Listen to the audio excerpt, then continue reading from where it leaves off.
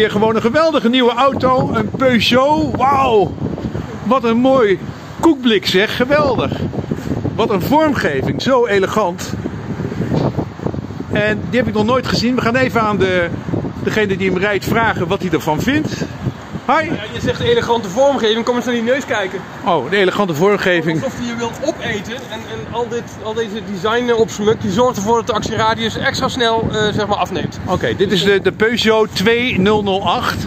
En uh, wat heeft hij voor, officieel voor een acceleratie? Officieel kan die 302 kilometer ongeveer aan. Maar ja? als je met vier man een bagage door het land aan het rijden bent bij 130, dan mag je blij zijn als je de 100 kilometer haalt. 100? Ja. Nee. Ja. Is het zo erg? Misschien 110, ja. Bij 130 kilometer per uur, vier man een bagage. Oké, okay. ja, je hebt ook wel geleerd als je met 100 kilometer rijdt, dan gebruik je de helft, dan gebruik je de helft van de stroom met 130. Hè? Dat scheelt echt enorm. Als ik in mijn eentje erin zit en ik doe netjes 100, dan. Um, Nee, dan klopt de actieradius die die aangeeft ook voor de verandering. Want ik zie die kilometers, hij geeft kilometers aan. Maar dat systeem leert niet. Dus dat systeem heeft niet in de gaten dat je uh, een andere rijcel hebt, of dat het koud is, of dat je ja. veel zwaarder beladen bent. Daar houdt hij helemaal geen rekening mee. Zulke dus domme software. Dames en heren, denk, software mensen, echt een goede indicatie hoeveel dat. kilometer. Leer dat gewoon. Oké. Okay. Ik moet iedere keer zitten rekenen. Oké, okay, ik kan het eigenlijk de hele tijd door twee delen. Dus iedere keer ben ik maar aan het rekenen, rekenen, in plaats van op de weg aan het letten.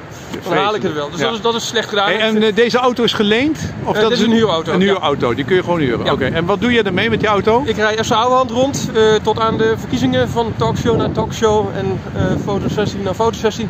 Uh, en dan zitten we dus vaak met z'n vieren erin en moeten vaak uh, redelijk ver rijden en, van, en, en er is weinig stoptijd.